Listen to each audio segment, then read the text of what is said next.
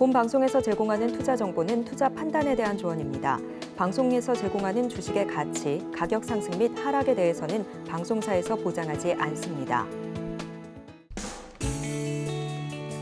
실시간 정보 브리핑입니다. 먼저 첫 번째 소식입니다. 간밤 뉴욕 증시 3대 지수가 엔비디아의 실적 발표를 앞두고 신중한 낙관론 속에 소폭 오름세를 나타냈습니다.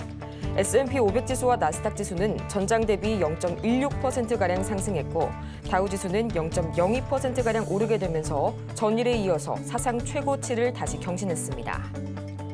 이어서 다음 소식입니다. 시장 조사 업체 LSEG에 따르면 월가가 전망하는 엔비디아의 2분기 매출 예상치는 1년 전보다 112%가량 증가한 287억 달러로 집계됐습니다. 이는 4분기 연속 세 자릿수의 성장률입니다. 오늘 밤 엔비디아의 실적 발표를 반드시 체크하시기 바랍니다. 이어서 다음 소식입니다. S&P 다우존스 인덱스에 따르면 지난 6월 미국 주요 도시들의 주택 가격이 전년 동기 대비 6.5% 상승하면서 사상 최고 수준을 기록했습니다. 고금리로 기존 주택의 매물 공급이 줄어든 점이 집값의 상승세 지속의 원인으로 지목되고 있습니다. 이어서 마지막 소식입니다. 리비아의 상유 중단 우려로 전날 3% 넘게 급등했던 국제유가가 불안감이 과도했다는 분석이 나오면서 간밤 2% 이상 내렸습니다. 골드만삭스는 리비아에서 발생한 혼란이 단기적일 것이라면서 브렌트유의 내년 평균 가격 전망치를 기존의 82달러에서 77달러가량 선으로 낮췄습니다. 여러분 안녕하세요. 8월 28일 수요일 실전 매매의 정수 진행의 조민재입니다. 이 뉴욕 증시의 슈퍼볼 바로 엔비디아의 실적 발표를, 단 하루 앞두고 간밤 뉴욕 증시 3대 지수는 강보합으로 마감이 됐습니다. 가장 먼저 이날 시장은 경계감과 기대감이 혼조된 모습을 보였는데요. 주인공인 엔비디아에겐 이날 낙관론이 조금 더 강하게 작용하면서 주가가 약 1.4% 이상 크게 뛰어 올랐고요. 또 이를 따라서 퀄컴과 브로드컴 등 AI 반도체주들이 또 강한 상승 물살을 보였습니다. 한편 이 Magnificent Seven 중에서는 아마존과 메타, 테슬라 그리고 알파벳이 1% 안팎의 내림세를 보이게 되면서 시장의 순환매가 또다시 기술주를 벗어나는 그런 양상이 포착이 됐는데요. 또 이런 분위기 속에 현재 개장 후 약 1시간이 지나가고 있는 우리 시장. 어제에 이어서 오늘도 마찬가지로 이 AI 테마 그리고 정보 보안 테마가 강하게 상승 흐름 보여주고 있고요. 또 디지털 트윈과 네옴시티 등의 테마가 새롭게 떠오르고 있습니다. 그렇다면 과연 이런 분위기 속에서 우리 시장 전체적으로 어떤 그림 그리고 있을지 지금 이 시각 출발 상황 자세하게 짚어보도록 하겠습니다. 어제 이 반도체와 자동차 대형주들의 약세에 안타깝게도 약보합으로 마감했던 코스피 시장. 마찬가지로 오늘도 약보합권에서 흘러가고 있고요. 어느새 2680선까지 밀려난 모습 관측이 되고 있습니다. 이어서 유가증권 시장 수급 동향 지금 바로 보도록 하겠습니다. 이 어제 외국인이 이 선물 시장에서 다시 한번 매도세로 돌아서게 되면서 이 유가증권 시장에 하방 압력을 더해줬는데요. 오늘도 마찬가지로 현재 외국인이 나홀로 매물 팔아내고 있고요. 개인과 기관이 동반 매수세 보여주고 있습니다. 이어서 코스닥 지금 바로 보도록 하겠습니다. 오늘은 반등에 성공한 코스닥 비록 강보합권이지만요 0.26%가량 올라서게 되면서 어느새 760선을 상회하고 있고요. 또 이어서 코스닥 수급 동향 지금 바로 보도록 하겠습니다. 이 정거래일까지는 3거래일 연속 외국인과 기관의 동반 매도 행렬이 이어졌던 코스닥 시장. 오늘도 마찬가지로 현재 4거래일 연속 외국인과 기관이 나란히 매물 팔아내고 있고요. 개인이 나홀로 현재 지수를 상승 압력을 주고 있는 코스닥 시장입니다. 이렇게 해서 오늘 양대 지수가 엇갈린 모습으로 출발을 하고 있는 현재 이 시각. 오늘 저희가 주목해볼 섹터는 바로 진단키트 관련주가 기다리고 있습니다. 이 바로 지난주만 하더라도 코로나19의 증가세 둔화 소식과 더불어서 관련주들이 잇따라 투자 주의 경고를 받으면서 일제히 급락세를 보였던 진단키트주. 오늘 장에서는 다시 한번 고개를 들어주고 있는데요. 코로나19의 유행이 이번 주에 정점을 찍을 거란 분석이 나오면서 어제 서울제약과 나노엔텍 그리고 파밀셀, 젠큐릭스 등이 시간의 거래에서 급등 보여줬고요. 또 진원 생명과학 등이 투자 경고 지정에서 오늘부로 해제가 되면서 다시 한번 이 섹터에 힘을 실어주고 있습니다. 과연 이 중에서 오늘은 어떤 종목을 만나볼지 저희 잠시 후에 공개할 거고요. 실전 매매의 정수 오늘도 이정수 전문가와 함께합니다. 자, 제가 지난주부터 얘기했어요. 지난주 이미 목요일부터 많이 빠지길래 이거 하루 이틀만 더 빠지면 괜찮을 것 같다. 어디? 코로나 진단 키트랑 엠폭스 관련주. 아침 방송에도 얘기했고요. 이 아침 방송 전에도 제가 요즘에 서울경제TV에서 8시부터 8시 20분까지 매일 어, 매일 이슈 따라잡기 이정수의 매일 이슈 따라잡기라는 제 스스로의 유튜브 코너입니다. 거기에서 진단 키트 관련주 이거는 움직일 수밖에 없는 이유에 대해서 얘기를 했어요. 그리고 이게 상당히 많이 갈 겁니다. 왜냐하면 세력들이 작년에 다 제약주를 매집을 했어요. 그러니까 엠폭스 진단 키트를 매집한 건 아니에요. 제약주를 매집을 했어요. 왜 제약주를 매집했느냐? 그럴 만한 이유가 있죠. 이미 그것도 설명을 간간히 했습니다. 여기서도 힌트는 많이 드렸는데 여러분들 제약주가 관심이 없는 사람들은 언제 얘기했지? 한 귀로 듣고 한 귀로 흘려서 그래요. 제약주가 많이 갈 거라 그랬어요. 심상치 않다 그랬고 매집이 됐다는 얘기도 이미 다 방송에서 아침 시간에 일주일 방송만 찾아보더라도 그럼 들릴 거예요. 왜냐면 이제 여러분들이 이제 관심이 생길 겁니다. 왜냐하면 지금 제약주들이 움직이고 있거든요. 최근에 유한양행 렉라자 소식으로 어, FDA 승인으로 해서 지금 돈 많이 벌 거거든요. 그 내용을 사실 안에 들여다보면 이거 대박이에요, 대박. 어, 대박이 터진 건데 어, 그렇게 기사에 비해서 주가가 폭등을 하지 않죠. 근데 역사적인 신고점입니다. 그럼 FDA, 승인을 이제 기대하고 있는 다른 애들도 이제 움직이게 될 거고 면역 항암제라든지 무슨 치료제 무슨 치료제에서 움직이게 될 텐데 이미 그거에 대한 얘기는 공개 방송에서 많이 했었고 그리고 더 대박인 것은 최근에 조정받은 거를 가지고 어제 여러분들한테 셀티리온을 드렸죠. 근데 셀티리온 사지 말라 그랬습니다. 왜? 셀티리온은 그냥 대장주고 금액 큰 사람들한테만 맞는 거고 안 올라간다 그랬어요. 사봤자 뭐 많이 가야만 5% 올라가고 그러는데 5% 먹을 거면 은 50% 먹는 걸 사야죠. 30% 50% 먹는 게 어디 있다? 진단 키트하고 코로나. 그래서 어제 이 시간에 어제 방송 돌려보세요. 딱 요 얘기했죠. 셀트리온 살 거 사지 말고 그냥 셀트리온도 코로나 치료제이기 때문에 대장주로서 상징적으로 여러분들한테 얘기를 하는 거고요.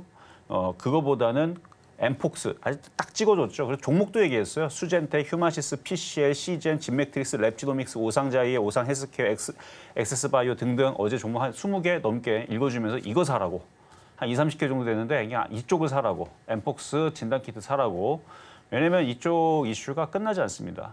왜냐면 정부가 지금 뭐 이제 코로나 뭐 이번에 뭐 뭐 30만 명 안에서 뭐 뭐 그 얘기 있는데 3만 명이었나요? 하여튼간 저는 일단은 그 이상 될 것처럼 생각이 됩니다. 왜 그런지는 어, 나중에 또 얘기할 때가 있으면 얘기를 해드릴 텐데 어, 정부에서 지금 엠폭스도 마찬가지고 전 세계적으로 퍼지고 있는 지금 질병에 대해서 WHO는 난리가 났다고 하는데 정부에서는 괜찮다라 그러죠. 어, 일단 이 확산을 막는 게 쉽지가 않은 게 사실이고 어, 아프리카에서 지금 사망자가 많이 속출하고 있고 이게 전 세계적으로 퍼지고 있는데 이걸 막을 수 있는 방법은 하나밖에 없어요. 항공 다 막고 배 다 막고 여러분들 알리에서 택배 오는 거 다 막고 그렇죠? 해외 직구 다 막고 여러분들 출근 못하게 다 막고 지하철도 못하게 다 막으면 그렇게 해서 한 3개월만 다 막으면 그러면 경제가 아주 폭락을 하겠죠. 어, 경제가 아주 폭락을 하고 3개월 동안 뭐 누가 뭐 공짜로 싸 갖다 줍니까? 어, 다 굶, 굶겠죠, 그렇죠? 그러니까 쉽지가 않아요. 못 막습니다. 그래서 이 사태는 어떻게 될지 모르겠는데 확산이 될 게 저는 예상이 돼서 그리고 원래 제약주들이 겨울에 잘 움직여요. 근데 이번 타이밍이 4년째입니다. 2020년도 이후에서 이번에 이제 올라갈 수 있는 타이밍이 됐기 때문에 그래서 저 대형 제약사가 움직이는 거예요. 저는 엠폭스 진단 키트이기 때문에 간다 이 의미가 아니고 갈 핑계거리가 많아졌고 FDA 임상 소식이라든지 신약이라든지 내년에 이제 어, 인공지능 발달로 인한 그런 신약들 많이 나올 거라 그랬죠. 그런 것부터 해가지고 음, 생물보안법부터 해갖고 올라갈 이슈가 많아요. 미 대선 결과에 따라서도 메디케어가 움직일지 아니면 제약사들이 그냥 움직일지 근데 움직이려면 뭐 몇 별의별 핑계가 다 많으니까 그래서 제약주들이 좋기 때문에 그래서 오늘 진단 키트를 그래서 어제 다 얘기했었던 부분이고 그래서 이걸 사야 된다 사야 된다라는 얘기를 오늘 아침 방송에도 얘기했어요. 오늘 아침 방송에도 이거 움직일 때 됐다고 사라고 아침 방송에서도 얘기했습니다. 오늘 8시에 그러니까 어제도 얘기했어요. 금요일 날도 얘기했고 왜냐면 여기서도 얘기했어요. 여기에서도 사라고. 그래서 어제는 셀티리온을 가져왔지만 셀티리온 갖고 나온 건 제가 얘기했던 수젠텍서부터 해갖고 진매트릭스 쭉 걔네들 걔네들 2, 30개를 대표해서 가져 나온 거다라는 얘기를 했고 잘 움직이죠. 자 그리고 오늘 공개 방송이 있습니다. 왜냐하면 지금 테마주 장세가 지금 굉장히 강하게 펼쳐지고 있는데요. 음, 일단 11시 할 겁니다. 제약바이오가 심상치가 않아요. 반도체는 나스닥이 가야지만 간다 그랬죠. 확률은 반반입니다. 근데 이런 제약주나 테마주들은 나스닥이 넘어가도 좋고 안 넘어가도 좋아요. 그 뭐가, 뭐가 더 유리해요? 테마주가 더 유리하겠죠. 근데 이 테마주가 하루 이틀 만에 끝나지 않을 겁니다. 미국 시장이 심상치가 않아요. 미국 시장 이번에 못 넘어가더라도 흔들리고 넘어가게 될 거예요. 이유는 이미 여러분 다 얘기했어요. 여러분들 한 귀를 듣고 한 귀를 흘렸으면은 돈이 뿌려지게 되면 무조건 주식시장은 올라갑니다. 여태까지 안 그런 적이 없어요. 주식시장이 생긴 이래로 돈을 뿌리면 시장이 올라가고 돈을 거두면 떨어집니다.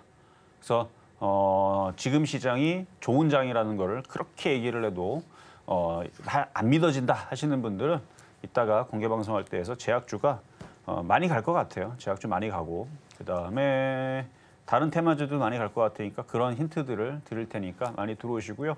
어쨌든 신약에 대한 기대감 어, 되게 많아요. 많은 그 뭐 지금 대형 제약사야 뭐 유한양행뿐만 아니라 뭐 셀트리온 어제 말씀드린 것뿐만 아니라 뭐 종근당, 뭐 녹십자, 뭐 여러분들 알고 있는 그런 뭐 한미약품 그큰 회사들 있잖아요. 파이프라인들이 다 다르고 뭐가 다 다르고 뭐 비슷한 것도 있고 다 뭔가를 지금 준비하고 있고 임상 삼상을 준비하고 있고 FDA 승인을 준비하고 있고 다 하나씩은 다 있습니다. 그게 통과가 안 돼서 그렇지. 그러니까 올해 안 되면 내년에 도전, 내년 안 되면 3년 뒤에 도전, 3년 뒤에 안 되면 10년 뒤에 도전. 언젠가는 도전이 돼서 되는 게 있겠죠. 그거면 됩니다. 그러니까 앞으로 지금서부터 100년 동안 지금 좀 전에 얘기했었는 그 대형 제약사들이 FDA 승인을 하고 삼상 임상 삼상을 준비를 하는데 하나도 안 되고 계속 떨어진다. 그럴 리는 없으니까. 뭐라도 하나는 걸립니다. 그거면 돼요. 주가가 올라가는 데는 그거면 됩니다. 앞으로 하나도 안 되고 다 떨어질 거라는 것도 예측을 그건 할 수가 없는 거예요. 뭐 100년 동안 하나도 안 되고 그런 게 설마 있겠어요? 하나로 되겠지? 그런 기대감만 있어도 제약주는 움직이는데 그런 시, 시기입니다. 그래서 지금 대봉 LS 같은 경우 잠깐 보면은 이거 여러분들한테 비만 치료제로 드렸던 종목이거든요. 이때 14,000원 초반대에서 드렸던 종목인데 수익이 났다가 팔라 그랬고 조정받고 지금 다시 움직이죠. 비만 치료제인데 뭐 지금 피부 뭐그 피부 뭐 재생인가 뭐 그게 이슈가 나와가지고 뭐 유럽 어쩌고 저쩌고 해서 지금 급등해서 상한가 갔는데 이게 제약주가 약할 때에서는 그런 얘기 나와도 콧방귀도 안 껴요. 움직이지도 않습니다. 별거 아닌 건데 같은데도 막 급등을 하죠. 저러다가 이제 비만 치료제 들어오면 또 급등하겠죠. 그럼 뭐예요? 넘어가요. 넘어가면 어떻게 돼요? 계속 갑니다. 4만 원, 5만 원, 6만 원 이게 지금 제약주의 힘입니다. 그러니까 이따 공개 방송에서 그런 부분에 대한 그러니까 여러분들이 지금 작년에서 돈을 못 벌었다. 지금 섹터들만 잘 공략하면 100% 이상도 나올 수 있는 그런 시장의 흐름이 된 겁니다. 자, 여기까지 말씀을 드리고 시작하도록 하겠습니다.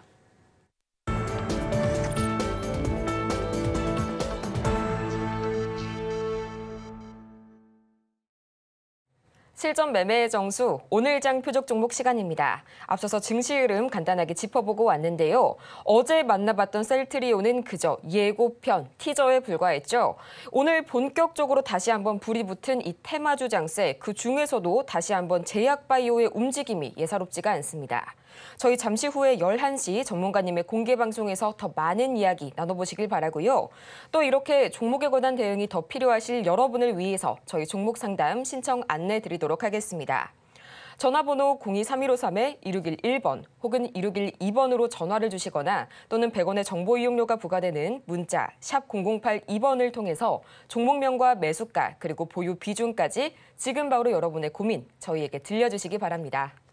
또 이어서 저희가 방송 중에 제공해드린 정보는 투자 판단을 위한 조언일 뿐 해당 종목의 가치와 수익률을 보장하지는 않고요. 또 저희 서울경제TV는 자본시장통합법을 준수하고 있습니다. 1대1 투자 상담이나 유사 수신행위 등 모든 불법 사항을 엄중히 금지하고 있고요. 또 최근 당사를 사칭하고 있는 사례가 늘고 있으니까요. 이 부분 반드시 투자에 유의하시기 바랍니다.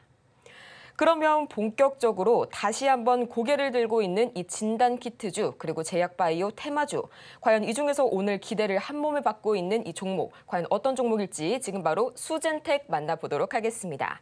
매수가는 잠시 후에 만나볼 거고요. 지금 바로 수젠텍 주가 흐름 체크해 보도록 할게요.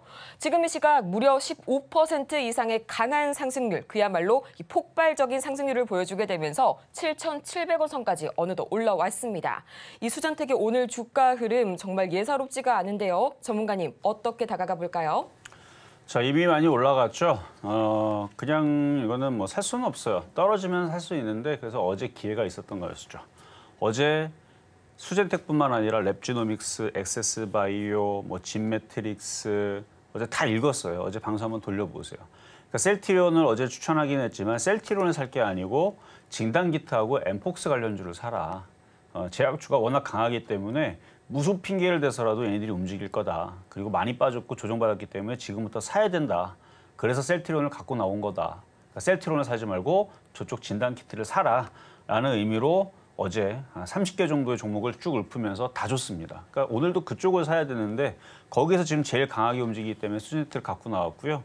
어, 쫓아가지 마세요. 쫓아가면 물립니다. 그리고 지금 비만 치료도 상당히 강하죠. 대봉에서 상한가 가고 블루엠텍 11% 급등 나오고 저것도 여러분들한테 폐옥 종목 추천했던 것 같은데 그러니까 제약바이오가 비만 치료제가 됐든 어, 항암제가 됐든 면역 항암제가 됐든 자가 면역 항암제가 자가 면역 치료제가 됐든 아니면 뭐 뭐죠?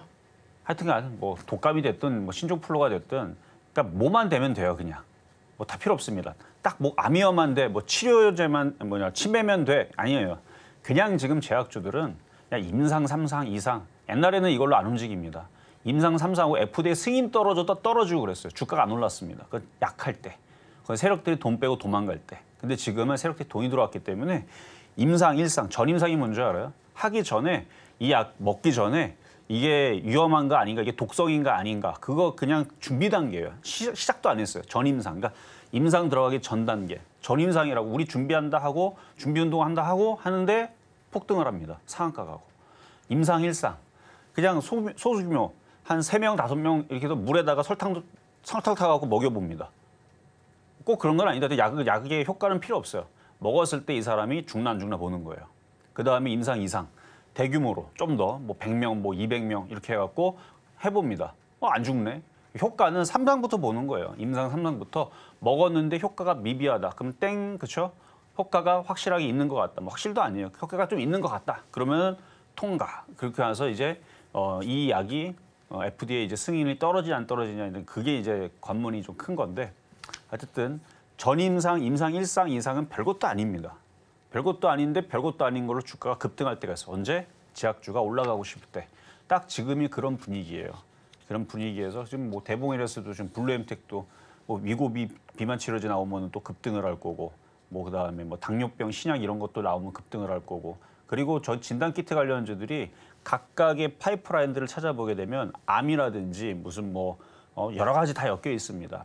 뭐 코로나 진단 키트만 갖고 있는 게 아니고 그래서 제약주들이 이렇게 강하게 움직일 때는 수젠텍뿐만 아니라 다, 다 강하게 움직이니까 굳이 쫓아갈 필요 없이 이따가 공개 방송할 때 들어오세요. 그러면은 모양 좋은 애들이 어떻게 생겼는지를 보면 여러분들도 충분히 종목을 골라서 제약주를 살 수 있습니다. 어쨌든 수젠텍 가격 전략은 잠시 뒤에 공개하도록 하겠습니다.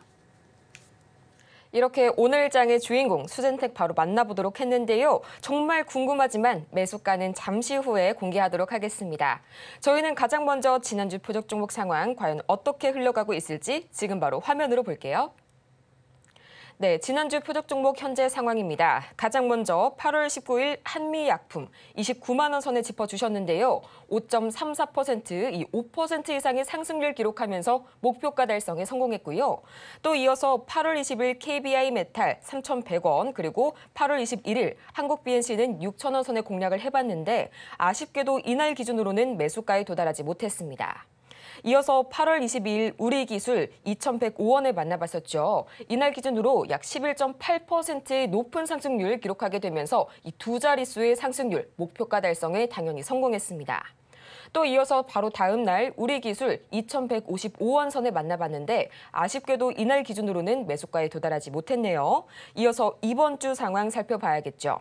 가장 먼저 8월 26일 우리 기술 동일하게 매수가는 2,155원 선에 만나봤는데 아쉽게도 이날 기준으로는 매수가에 도달하지 못했고요. 또 이어서 8월 27일 셀트리온 20만 원 선에 짚어주셨는데 벌써 단 하루 만에 0.75%의 상승률 기록하고 있습니다. 이렇게 이번 주 종목 상황 다시 한번 체크해보고 왔는데요. 가장 먼저 어제 이 대장주였죠. 셀트리온 오늘 장에서 과연 어떻게 계속해서 추가 대응 전략 세워볼지 만나볼 거고요. 또 이어서 오늘 장의 주인공인 수젠텍 그 대망의 매수가까지 지금 바로 만나보시죠. 자 어제 폐역 종목 드렸던 진단 키트의 대장이지만 꼼짝도 안 하는 원래 그럴 거라 그랬죠. 근데 좋은 종목입니다. 자 보겠습니다. 자 20만 원 안 들어올 줄 알았는데 들어왔어요. 차라리 안 들어오고 오늘 진단 키트가 가격이 들어왔으니까 가격을 샀으면 더 좋았을 텐데. 근데 이미 이 부분도 여러분들한테 어제 고질했기 때문에 여러분들이 만약에 이걸 샀다면 금액이 큰 사람들일 거라 생각이 됩니다. 그러면 잘한 게 맞아요. 그러니까 한 종목에 100억, 500억, 1000억 단위로 산다. 그러면 셀트리온이 맞는 겁니다. 시가총액 작은 사람들이 블루엠텍, 대봉엘에서 지금 상한가 들어가는 걸 어떻게 삽니까? 그 100억 사기도 전에 이미 벌써 3억, 5억 사면 벌써 10% 올라가 있을 거예요, 막. 막 10억 사고 20억 사면 이미 벌써 세력들이 눈치채가지고 급락을 시키든지 둘 중에 하나죠. 누군가가 10억, 20억 들어온다. 일단 하한가를 내보냅니다. 나가라고. 아니면 상한가를 내보내죠. 아니면 10% 이상 올라가고. 그러니까 그런 식이기 때문에 금액 큰 사람들한테는 조그만 종목을 할 수가 없어요. 아니면 여러분들이 뭐 프로그램 매매, 어, 뭐 증권사처럼 뭐 그런 식으로 돼가지고 뭐 한꺼번에 한꺼번에 뭐 10종목, 20종목, 30종목을 한꺼번에 살 수 있다. 근데 그런 시스템도 아니잖아요. 증권사만 되는 거고. 그러니까 여러분들한테는 셀트리온은 금액 큰 사람들한테는 좋은 종목이 맞습니다. 차트도 우상향이고. 근데 이제 오늘 저쪽에 진단 키트들 막 10%, 5%막 20%막 지금 급등하는 거 보면 이게 안 좋아 보일 거예요. 안 좋은 거 아닙니다. 좋은데 안 가는 것 뿐이에요. 그러니까 그거를 이해하고 산 거는 어제 이해하고 샀다면 인정하고 가면 돼요.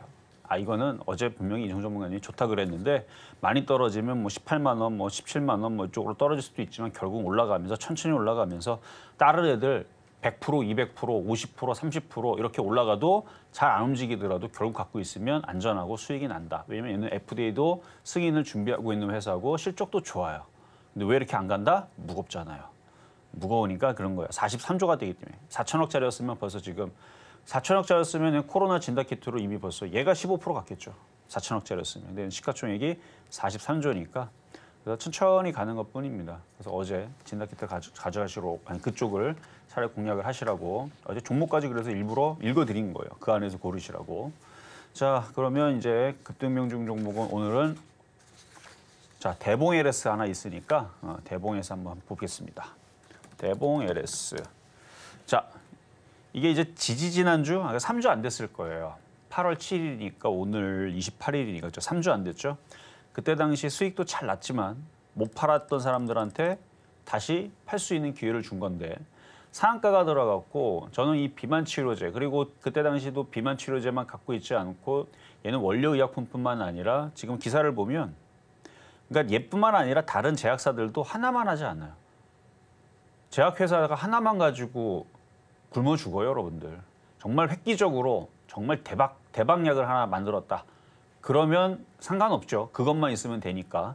근데 대부분의 제약회사들이 그걸 뭔가로 예를 들어서 뭐 어, 암 치료제 정말 대박인 걸 하나 만들었다. 그럼 그것만 가지고도 얘는 먹고 사는데 뭐 비아그라처럼 그런 거 하나만 갖고 있어도 먹고 사는 애들은 어, 어쨌든 간에 연구원들 똑똑한 사람들을 뽑아다가 연구 그러니까 약이라는 거를 효능을 그쵸 어, 검증을 하고 어쨌든 연구를 하고 새로운 거를 뭐 만들고 그럼 그 똑똑한, 똑똑한 사람들 만 그냥 뽑아놔서 뭐 암치료제 하나만 가지고 안 한단 말이에요. 오히려 돈을 벌었으면 옆에 있는 것도 해볼까, 폐암도 해볼까, 아니면은 뭐, 뭐 혈액암도 해볼까, 아니면은 뭐, 뭐 신종플루도 해볼까, 그렇죠? 뭐 당뇨병도 해볼까. 그러니까 제약회사들이 하나만 갖고 있질 않아요. 그러니까 이것도 기사를 보면 은근히 어 이런 게 있었네, 그렇죠? 피부 미용, 뭐 상처 회복. 저는 이거 보면서 아, 이런 게 있었나? 이게 무슨 뭐 후시 후시딘인가? 뭐 이런 생각을 하면서 듣도 보지 못해. 근데 별것도 아닌데 움직이잖아요. 물론 별거일 수도 있어요. 제가 내용은 정- 정확하게 보지 않았지만 어쨌든 국소 상처 관리 제가 볼 때 엄청난 엄청난 치료제도 아니고 그리고 보니까 화장품 소재. 그 기사 내용 제가 정확하게는 안 읽어봤지만 그냥 후시딘보다는 성능은 제가 볼 때 떨어집니다. 그런 것보다는 좀 떨어지는데 그냥 화장품용으로 썼는데 이게 피부 장벽을 그걸로 지금 상한가 간 게 좀 웃기지 않나요? 이게 왜 그러느냐? 제약주가 강할 때는 그냥 지나가는 낙엽에도 상한가를 가는 거예요. 그래서 지금 제약주가 심상치 않다라고 얘기했던 거고 그래서 오늘 이따가 공개 방송도 할 건데요. 이런 식으로 움직이게 되면 이제 나중에 이제 비만 치료제 얘기 나오게 되거나 아니면 원료 의약품 얘기 나오게 되면 참 여러분들 원료 의약품은 아마 내년에 아마 대박 터질 겁니다. 아, 이것도 궁금하면 이따가 공개 방송에서 미국하고 연결이 돼 있습니다. 원료 의약품. 우리나라 원료 의약품 관련주 많아요. 대형주보다 우리 중소형주가 많으니까 아주 재밌는 장이 될 겁니다. 일단 대봉 ALS 넘어가겠죠. 만약에 이때 당시 못 팔아갖고 물렸는데 지금 올라가는데 어떡합니까? 상한가 들어가는 건 파는 거 아닙니다. 욕심내고 가져가세요. 올라갈 이슈가 많아요. 올라갈 이슈가 많으니까 이거 넘어갈 것 같습니다. 2만 원 넘어가고 2만 원 넘어가면 그때서부터는 이제 역사적인 신고점이네요. 2만 원 넘어가면 이제 그때는 목표치가 없죠. 미국장이 꺾이거나 제약주가 꺾일 때 빠지는 거니까 뭐 2만 원 넘어가면 냅두면 되고 지금 강세로 이 붙어 있는 시동이 강력하게 걸렸잖아요. 그러면 그때 보유하고 있다가 혹시나 오늘 상한가가 풀린다. 그때는 절반을 파시면 됩니다. 안 풀리면 팔 필요 없어요. 자, 여기까지 말씀드리고 자, 그럼 이제 오늘의 표역 종목 수젠텍 힌트는 어제뿐만 아니라 지난주 목요일 금요일 날에서도 공개 방송에서 계속 얘기했습니다. 이쪽 엠폭스 진단키트 얘는 진단키트예요. 근데 엠폭스 관련주들 미코바이오메드, 진매트릭스, 휴마 휴마시스, 셀레믹스, 랩지노믹스, 씨젠, 녹십자MS, 파미셀, 엑세스 바이오, 제놀루션, 팜젠 사이언스, 오상자이엘, 캐스피온 등등 이거 말고도 20개가 더 있는데 이거 그러니까 얘네들이 엠폭스만 있는 게 아니고 진단 키트하고 다 같이 있다 그랬죠. 근데 차트가 차트를 봐봐요. 차트가 안 갈 수가 있나요? 거래가 실렸는데 올라갔으니까 뭐라도 흔들어 제끼든 올리든 왔다 갔다 하겠죠. 그러다 넘어가겠죠. 이제 날씨도 이제 슬슬 선선해질 때가 됐죠. 10월 달 되면 시원해집니다. 일단 9월 달까지는 일교차가 좀 심하겠죠. 낮은 더웠다가 뭐 아직은 뭐 오후에도 덥고 한데 저녁에 이제 드디어 20도 밑으로 뭐 26도까지 내려갔는데 어, 이렇게 일교차가 이게 심하다 보면 감기 환자가 또 늘어나죠. 음, 그런 부분들. 근데 이제 9월 달보다는 10월 달에 늘어나겠죠. 10월 달에 이제 환절기 가 되니까 많이 늘어날 거고 11월 달, 12월 달에서 이제 본격적으로 추워지게 되면 사람의 면역력이 떨어지게 되면 동물도 그렇고 사람도 그렇고 면역력이 떨어지기 때문에 그러니까 1도만 내려가도요. 어, 사람이 1도만 내려도 큰일이에요. 그러니까 0.5도만 내려가도 면역력이 확 떨어집니다. 이건 연구 결과도 있고 논문도 있고 기사도 있어요. 그래서 겨울에 잘 걸리는 거예요. 어, 감기가. 그래서 겨울에 이제 사람만 걸리는 게 아니고 그래서 동물 백신, 돼지열병, 뭐 소류 독감 이런 걸로도 잘 움직입니다. 그러니까 제약주가 움직일 게 많은데 근데 또 미국에서 이슈를 좀 찾아야 되니까 그건 이따가 또 공개 방송에서 말씀을 드릴 거고요. 그러니까 제약주가 이번에 대충 올라갔다 끝난다고 생각하면 안 돼요. 오히려 어제 이슈가 많이 터졌었던 딥페이크 이슈. 저는 오히려 그게 단기성으로 될 것 같습니다. 왜 그런지도 그것도 이따가 말씀을 드릴게요. 왜냐면 과거에 똑같은 이슈가 글자 하나 안 바뀌고 똑같습니다. 기사 보면은 어제 쓴 기사 같은. 그러니까 이미 여러분들이 지금 기억이 안 나죠? 2021년도에 우리나라 똑같은 사건, 똑같은 게 벌어졌었어요. 다 그런 기사들이 다 있고 되게 자세하게 누가 논문 쓰듯이 기사가 여기저기서 다 나왔습니다. 근데 사람들이 관심이 없었죠. 미국은 더 난리가 났었고 2018년도, 2019년도, 2021년도 마찬가지 여러분들이 관심이 없어서 몰랐던 거죠. 근데 지금은 확 이슈가 됐죠. 이유는 여러분들이 뉴스 봐서 미성년자, 뭐 지인, 근데 그때도 그 기사가 있었어요. 있었는데 여러분이 그 뭐냐 관심이 없어서 그랬던 거지. 어쨌든 그것 때문에 지금 그쪽 관련주들이 지금 오늘도 강합니다. 강하지만 저는 제약주가 더 끈질기고 생명력이 더 있다.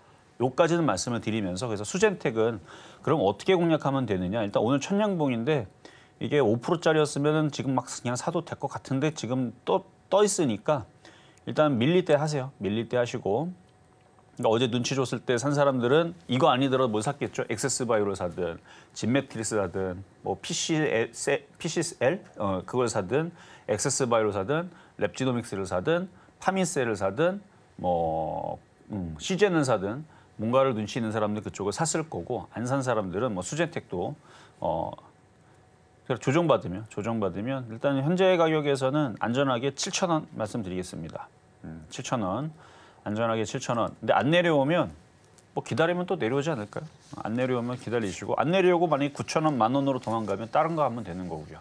그래서 이거는 짝짓기 매매로 일단 이쪽에서 제일 강하게 움직이는 게 수젠텍이기 때문에 혹시나 내려오면 공짜죠. 7천 원까지 내려온다 그러면 들어가자마자 일단 단타치기는 너무 좋습니다. 한 3에서 5%도 공짜로 나올 테니까 내려오면 사보고 안 내려오면 사지 마세요. 딴 거 하면 되죠. 딴 거. 그래서 오늘은 어, 진단키트 쪽에서 가장 강하게 움직이고 있는 수젠텍을 오늘의 표적 종목으로 말씀을 드려봅니다. 이렇게 해서 오늘 장의 주인공 이 수젠텍 매수가는 7천 원에 말씀을 해주셨습니다. 저희 잠시 후에 11시 전문가님의 공개 방송을 통해서 더 많은 종목들 확인을 해보실 수가 있겠고요. 또 아직도 저희 아직까지도 종목 상담 신청 받고 있으니까요. 지금 바로 전화번호 023153-2611번 혹은 2612번으로 전화를 주시거나 100원의 정보 이용료가 부과되는 문자 샵 0082번을 통해서 종목명과 매수 단가 그리고 보유 비중까지 여러분의 고민 저희에게 솔직하게 말씀해 주시기 바랍니다. 그러면 본격적으로 오늘의 종목 상담 가장 첫 번째 종목 바로 만나봐야겠죠. 저희 가장 먼저 만나볼 종목은요. 에코프로 기다리고 있습니다. 오랜만에 들어왔네요. 현재 매수가가 95,478원 그리고 20%의 보유 비중 말씀을 해주셨는데요. 지금 시각 보자면 살짝 밀려나는 모습 관측이 되고 있습니다. 약 0.8%가량 밀려나게 되면서 8만 6천 원 선까지 내려왔는데요. 전문가님 에코프로의 향후 주가 향방 어떻게 짚어주실까요? 자, 아직도 2차 전지 미련을 못 버리고 지금도 공략하시는 분이 있네요. 어, 안 움직이는데 지금 한 1년 정도 저는 생각을 하거든요. 움직이려면 어, 로봇 이슈가 나와야 됩니다. 이미 공개 방송에서 얘기했던 게 바로 그 내용이었어요. 그러니까 공개 방송 들어왔다면 건들지 않았을 텐데. 제가 이 얘기를 올 초부터 계속 얘기를 했어요. 그러니까 2차 전지가 움직이려면 단 하나 이슈. 테슬라에서 로봇을 판매를 해야 돼요. 그러니까 로봇이 올해 말이나 근데 올해 말안 나올 것 같아. 내년에 나올 것 같은데 내년에 뭐 초에 나온다 얘기 나와도 계속 연기가 되고 로봇 택시 봐봐요. 8월 달에 나오는데 10월 달에 나온다 그러죠. 그래서 또 연기가 될 겁니다. 그러면은 내년 한 하반기쯤에 나올 것 같아. 느낌은. 근데 이거는 믿지 마세요. 일단은 기사에서는 올해 연말과 내년에 나올 거라 그러는데 지금 연기하는 거 보면 제 생각으로는 내년 말에 나올 것 같은 느낌이 듭니다. 내년 말에 움직여요. 근데 내년 말에 움직이는데 로봇이 처음에 출시가 된다고 여러분들 집에 로봇이 바로 배달되는 것도 아니고 다른 쪽으로 가는 것도 아닙니다. 이게 출시가 되고 그 다음에 시장에서 평가를 받아야 되고 그러면 한 2년, 3년 걸릴 수도 있어요. 그러니까 빨리 움직여야 저는 1년 정도 보는데 그래서 로봇이 판매가 되면 로봇에는 2차 전지가 장착이 되죠. 그 이슈 때문에 한 번 움직일 수 있을 것 같아서 로봇이 말 테슬라가 로봇이 엄청나게 잘 팔려서 돈을 잘 벌고 있다. 그 기사 뜨자마자 저는 여러분들한테 2차 전지 추천할 겁니다. 잘 기억하세요. 지금은 아니란 말이에요. 지금은 갈 수가 없죠. 일단 매수 가격 보겠습니다. 이분이 여기서 지금 최근에 사셨는데 글쎄요 전기차 화재 사건을 보고 사신 건 아닌 것 같기도 하고 근데 만약 그걸 보고 샀다면 잘못 산 거죠. 지금 리튬 전지 전기차 때문에 지금 포비아 공포 상황이 지금 와가지고 전기차 지금 기피 현상이 지금 전 세계적으로 벌어지고 있습니다. 우리나라도 마찬가지고 그래서 지금 지하 주차장 못 세우게 막 막는 그런 얘기들도 막 나오고 그러잖아요. 그러면 얘네들한테 안 좋아요. 또 하나 전고체 배터리 얘기가 많이 나오죠. 전고체 배터리 2030년 이후에서는 상용화 된다 그러는데 나오면 얘는 더 안 좋죠. 얘는 전고체가 아니고 얘는 전해질로 움직인 거잖아요. 전고체라는 건 전해질, 전해액 필요 없는 거예요, 그게. 전해질, 전해액이 필요 없으니까 전해질, 전해액으로 움직였던 애들은 아주 더 박살나야 되는 거죠. 그러니까 악재죠. 전고체가 되면 안 됩니다. 오히려 얘가 움직이려면 전고체 실패, 전고체 안 된다. 계속 리튬 전지 써야 된다. 불러도 어쩔 수 없다. 그렇게 되면 움직입니다. 그러니까 악재가 많아요, 지금. 거기다가 전 세계적으로 지금 전기차가 판매가 어, 이렇게 될 줄 알았는데 지금 떨어지고 있죠. 그런 등등 여러 가지 이슈로 인해서 아니 아, 너무 안타까워서 그래요. 아니 보니까 가격이 뭐 25만 원에서 물렸고 뭐 20, 20만 원 물렸고 그러면은 뭐 어쩔 수 없이 물렸으니까 가져가세요 말씀드릴 수 있는데 최근에 제 공개 방송을 봤다면 이걸 뭐하러 샀어요 이거를 이거 사지 말고 차라리 제가 얘기했었던 테마주 그리고 어제 그저께 만약에 이걸 만약에 어제 그렇게 안 샀겠지만 얼마든지 교체할 수 있었는데 어? 제가 비만 치료제 한 번은 갈 거라고 공개 방송에서 이거 대박이라고 80kg인 성인 남성이 일주일에 한 번씩 주사 맞으면 68kg가 됩니다. 80kg에서 68kg면 80kg면 약간 뚱뚱한 거죠, 그렇죠? 어, 뚱뚱한 건데 68kg면 거의 군대 갔을 때 몸무게란 말이에요. 엄청나게 많이 변화가 됩니다. 이게 평균적으로 나오는 수치라고 어, 이미 나온 겁니다. 그렇기 때문에 저걸로 인해서 이슈가 분명히 될 겁니다. 연예인들도 막 광고에 막 나오고 그러면 어, 비만 치료제 움직일 수 있고 아니면 어제 강하게 있었던 코로나 치료제 이런 거 엠폭스 그러니까 이런 쪽으로 당장 어제 교체했었으면 얼마나 좋았을까 근데 지금은 지금도 교체해야 됩니다 지금도 손실이 크지 않잖아요. 물론 이 방송을 보면서 많은 사람들이 물렸을 거예요. 하지 말라고 했는데도 불구하고 뭐 2차 전지 좋다라는 얘기 때문에 들어가신 분들. 저는 저주를 퍼부었죠. 셀트리온처럼 빠질 거다라고 저주를 퍼부었습니다. 여기서. 진짜로 빠졌죠 셀트리온처럼. 저는 지금 셀트리온을 좋게 얘기하죠. 그럼 얘도 여기서 마찬가지 좋게 얘기해야 되는데 아직 때가 안 됐어요. 그래서 고점에서 만약에 혹시나 제가 조심해야 된다는 자리에서 말 안 듣고 공략해갖고 이렇게 크게 물리신 분들은 어, 로보트가 이제 많이들 판매가 되고 그렇게 돼서 어, 2차 전지가 많이 판매가 되고 이런 얘기가 1년 뒤에 나올 텐데 그때에서 복수해서 나오시면 되고요. 지금은 이걸 공략하는 게 아니에요. 지금은 제약주를 보든 아니면 해리스, 트럼프 테마를 봐야 된다. 그래서 요거는 그래서 정리하겠습니다. 손실이 크지 않으니까 고분은 잘라버리고 지금 당장 제약바이오로 교체하시는 게 당장 수익으로 빨리 바뀔 수 있을 것 같으니까 교체 말씀드리겠습니다. 네, 이어서 다음 종목 상담 이어가 보도록 하겠습니다. 다음 갤럭시아머니트리 만나보도록 할 텐데요. 매수가가 7,520원 그리고 40%의 보유 비중, 비중이 다소 높으시네요.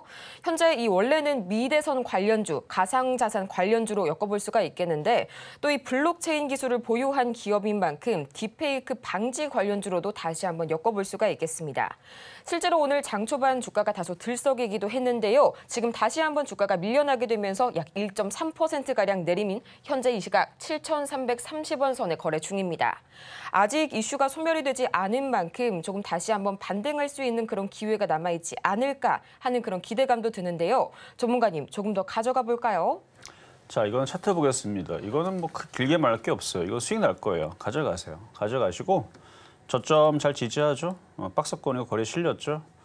어, 불안하면 8,000원에서 조금 팔고 그다음에 8,500원 조금 팔고 9,000원 그러니까 500원 단위마다 조금씩 팔면 되는데 뭐 불안할 게 뭐 있어요. 가져가면 9,000원에서는 충분히 팔 수 있을 것 같고 시간이 좀 지나면 넘어갈 수도 있는데 9,000원부터 만 원 사이에서는 절반 이상 파시는 게 좋을 것 같아요. 비중도 많으니까. 어쨌든 이거는 수익 납니다. 가져가시고 누군가가 매집하고 있으니까 뭔가 이슈로 올라가긴 하겠네요. 일단 보유 말씀드립니다. 네, 이어서 다음 종목 바로 신흥 SEC 만나보도록 하겠습니다. 매수가가 1,200원 그리고 10%의 비중 말씀해 주셨는데요. 최근 이 전기차 배터리 화재 방지 테마로도 부각을 받은 바가 있죠. 지금 시각도 마찬가지로 6% 이상의 강한 급등 이어가고 있는데요. 8,670원 선에 거래 중입니다. 과연 계속해서 매수가까지 회복이 가능할지 지금 바로 전문가님 솔루션 듣고 올게요. 자, 지금 전기차 화재가 계속 이슈가 되고 있잖아요. 근데 이게 해결될 문제냐? 해결이 될 거였으면 이미 벌써 장착이 돼서 나왔을 겁니다. 우리가 뭐 배터리를 무슨 뭐 번개불 콩고 먹듯이 바로 만들자 해서 만든 게 아니고요. 전기차 제가 옛날에 킨텍스 어, 2006년도, 2007년도 그때 킨텍스 가니까 전기차 앞으로 나올 거라고 하이브리드 나올 거라고 그러면서 광고하는 걸 제가 그때 기억이 납니다. 벌써 20년이 됐어요. 어, 20년, 거의 20년. 2027년도로 따지게 돼도 하여튼 18년, 뭐 17년, 그쵸? 오래됐습니다. 그 17년, 18년 동안 열심히 개발하면서 이게 터진다라는 걸 몰랐을까요? 이거 화학 시간에 배우는 거예요. 리튬은 엄청나게 불이 잘 붙습니다. 그 리튬, 전지는 있잖아요. 옛날에 핸드폰부터 써왔지만 이거는 터지는 게 문제란 말이에요. 그래서 이미 과학자들, 개발자들은 알고 있었단 말이에요. 근데 왜 불타고 터지는 거를 왜 못 막았을까? 기술이 어렵기 때문에 그래요. 그러니까 지금 나오는 이슈들 이거 결국은 해결이 안 된다라는 얘기로 이제 결론을 짓게 되면 떨어질 수 있고 근데 그 전에 어, 대선 테마로 불붙게 되면 어, 이슈가 사라질 수 있습니다. 그래서 일단은 9월 달이 이제 이게 9월 이제 곧이, 곧이죠. 정부에서 이제 뭔가 정책을 뭐 발표를 뭐 하고 한다 그랬는데 이미 벌써 얘기들이 나왔고 하는데 뭐 내일도 이제 그거에 대해서 얘기가 있을 수도 있고 어 근데 별로 그렇게 크게 해결이 되지 않지 않을까 왜냐면 벌써 될 거였으면 과학자들이 바보도 아니고 17년 동안 그거를 방지를 못했을까라는 생각 때문에 그래서 9월 달 그 재료 소멸 되기 전에 일단 만 원 정도 올라오면 일단 한번 파시는 게 좋을 것 같습니다. 전기차 쪽으로 계속 이슈가 붙으면 되는데 그러면 계속 불타야 되고 계속 공장 날아가야 되고 계속 아파트 터져야 되고 막 그래야 되는데 그러지는 않을 거란 말이에요. 사람들도 그냥 이제 또 흐지부지 되고 또 다른 이슈에 또 관심을 돌리게 되고 이렇게 되면은 또 이쪽 관심이 또 사라집니다. 그렇다고 뭐 개발되는 게 또 나오느냐 그렇지도 않아요. 할 수 있는 게 그냥 모니터링 정도 하고 이, 제, 이 배터리가 어디서 만들어졌고 어디로 유통이 됐고 오늘은 어디가 있고 오늘은 어디가 있고 충전이 80% 됐는지 50% 됐는지 터지는 건못 막고 이 정도 관리 수준이기 때문에 어, 딱히 뭐 여기서 발전되는 부분들은 크지 않을 것 같아서 그래서 저는 오히려 이슈가 제약주 쪽으로 몰리는 게 더 크지 않을까 시간이 지나면 지날수록 그래서 이쪽은 9월 달 정도에서는 잘 빠져나오시는 게 좋겠다라는 의견 먼저 드리겠습니다. 이어서 다음은 LS 마린 솔루션 지금 바로 보도록 하겠습니다. 매수가가 2만 6,800원 그리고 그리고 20%의 보유 비중 말씀을 해 주셨는데요. 대왕고래 테마가 또 요새 한번 부각을 받게 되면서 그 이후로 급등 보였지만 계속해서 하락세 이어가고 있는 이 LS 마린 솔루션. 지금 시각 주가 흐름 보자면요. 약 2.47%가량 밀려나게 되면서 17,700원 선에 거래 중인데요. 전문가님 다시 한번 좀 급등할 수 있는 그런 기회 다시 한번 올까요? 2만 원대에서 쉽지 않은 가격대에서 공략을 했네요. 일단은 떠 있는 상태에서 공략을 해서 자 전저점 음, 지진하고 있으니까 괜찮습니다. 그래도 시장 분위기도 나쁘지 않으니까 미국 신고점 돌파하기 직전에 있잖아요. 물론 박스권 가능성 50% 어, 어 박스권에 또 돌파가 될 거고 미국 그냥 돌파가 될 수도 있고 그럼 이 저점을 일단은 지켜줄 거라고 예상을 하고 뭐 다시 올라오면 어, 매매하는 데는 한 2만 2천 원 2만 뭐 4천 원 넘어가면 더 좋은 거고. 근데 수급은 좋아서 이쪽으로 떨어질 것 같지는 않네요. 기다려 보세요. 지금 조정을 이렇게 받고 있는데 뭐 일주일 정도면은 저점 찍고 다시 반등 주면서 2만 원 쪽으로 올라가려는 간다는 거 아니에요 지금. 올라가려는 머리 드는 양봉의 모습이 일주일 안에 나오지 않을까 싶네요. 그러면 그때는 추가 매수도 가능할 것 같습니다. 자, 그럼 이제 중간 시장 듣고 다시 상담 이어가도록 하겠습니다.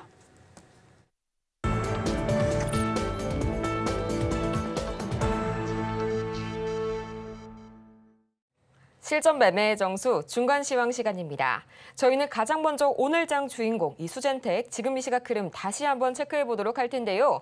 현재 13% 아까보다도 상승폭을 더욱 확대해 가고 있는 수젠텍 정말 폭발적인 상승률 보여주고 있습니다.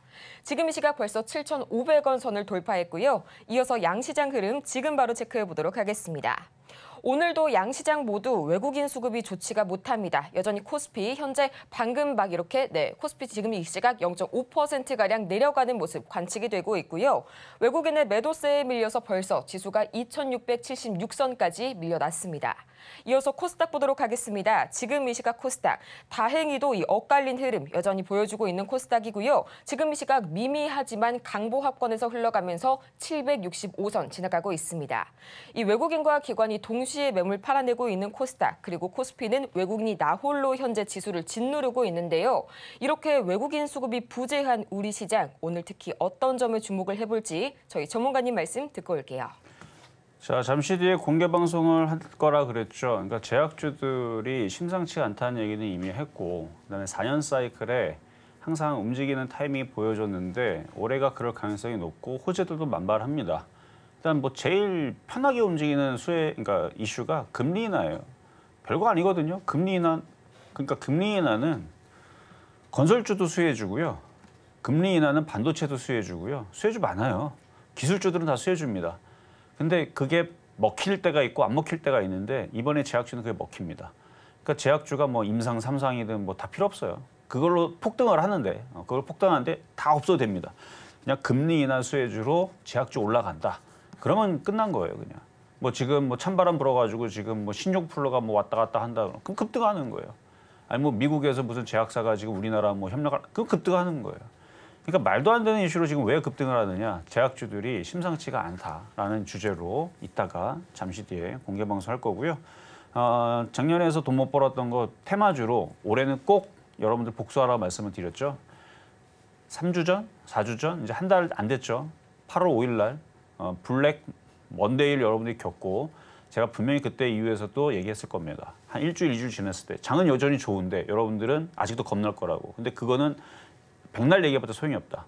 한 3주, 4주 지나고 미국 시장 계속 신고점 넘어가고 미국 주식들 계속 올라가고 우리나라 테마주도 막 강하게 움직이면 여러분들은 한 한 달, 두 달 지나면 어 뭐야 이거 시장이 자꾸 올라가네. 그러면 공포가 사라지게 될 겁니다. 그래서 지금 슬슬 공포가 이제 사라지는 단계가 됐을 거예요. 이제 종목도 잘 가잖아요 지금.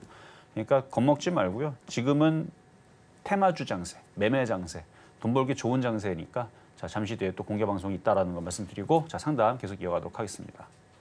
이어서 다음 상담은 재룡전기 만나보도록 하겠습니다. 현재 매수가가 8만 8천 원 그리고 10%의 보유 비중 말씀을 해주셨는데요. 아, 매수 단가가 다소 높으십니다.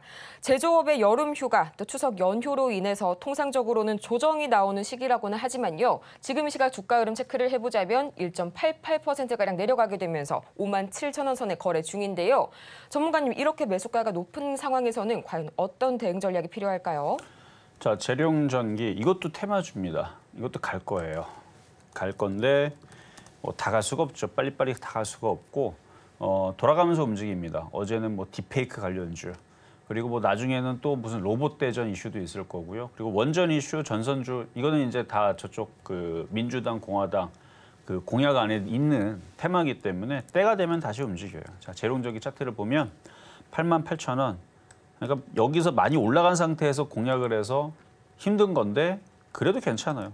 이왕 물릴 거면 강한 거, 올라갈 이유가 있는 거.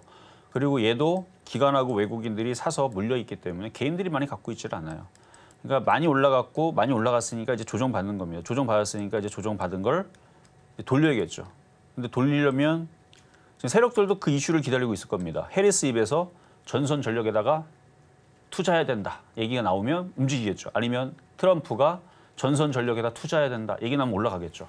근데 지금 미국은 자꾸 팁 전쟁, 어, 무슨 뭐 세금 깎아주려고 서로들 그래야지 이제 선심성 그렇게 해야 투표를 받으니까 그래서 뭐팁팁 깎아준다는 그 얘기만 나오고 그래요. 하여튼 9월 10일 날에 미국의 정책이 무슨 얘기가 나오는지 우리가 한번 들어볼 필요가 있다.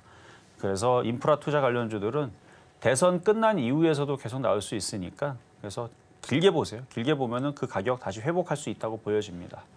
자 이렇게 해서 오늘 상담은 요거로 마무리를 하지만 잠시 뒤 11시입니다. 11시에 어, 제약바이오뿐만 아니라 지금은 테마주 장세가 됐고요. 시장은 좋아요. 미국장이 넘어가든 넘어가지 않든 좋습니다. 안 넘어간다고 해서 나쁠 게 아니에요. 없어요. 그래서 시장은 좋기 때문에 어, 일단 제약주가 상당히 좋아 보인다는 거. 이 얘기도 자주 어, 7월 달서부터 자주 하는 얘기인데 어, 드디어 어, 올해 움직일 것 같으니까요. 일단 그 부분에 대한 얘기 잠시 뒤에 썰을 풀도록 하겠습니다. 이렇게 해서 오늘 상담은 아쉽지만 여기까지 마무리 짓겠고요. 계속해서 제약바이오가 고개를 들고 있습니다. 잠시 후 11시 공개 방송에서 이 전문가님의 보다 자세한 보충 수업 꼭 함께 하시길 바라고요. 또 미처 상담을 도와드리지 못한 분들께서는 이 잠시 후 마켓 시그널 온앤오프에서도 상담 신청이 가능하니까요. 여러분의 많은 관심과 참여 부탁드리도록 하겠습니다. 그럼 저희는 인사드리기 전에요. 오늘 방송의 핵심 내용 다시 한번 화면을 통해서 정리해보고 올게요. 네, 오늘의 핵심 세 가지입니다. 오늘 나스닥 역사적인 고점 라인을 기대를 모아- 모아 주고 있고요. 또 이어서 오늘 우리 시장 낙폭과 대 순환매 중심으로 이 테마주 매매 전략 다시 한번 세워보시길 바랍니다. 또 오늘 장의 표적 종목은 수젠텍 매수가는 7,000원에 만나봤습니다. 오늘 저희가 준비한 소식은 여기까지입니다. 저희가 방송을 통해 제공해드린 정보는 투자 판단을 위한 조언일 뿐 해당 종목의 가치와 수익률을 보장하지 않고요. 또 아울러서 저희 서울경제TV 그리고 서울경제신문 모두 당사의 브랜드인데요. 최근 당사를 사칭하고 있는 사례가 늘고 있으니까요. 이 부분 반드시 투자에 유의하시기 바랍니다. 그럼 저희는 이만 다음 이 시간 더 유익하고 알찬 소식으로 다시 돌아오도록 하겠습니다. 함께해 주신 여러분 고맙습니다.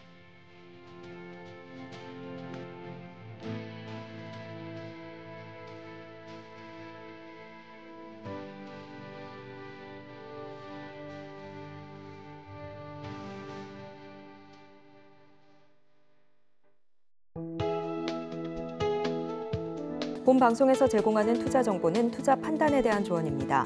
방송에서 제공하는 주식의 가치, 가격 상승 및 하락에 대해서는 방송사에서 보장하지 않습니다.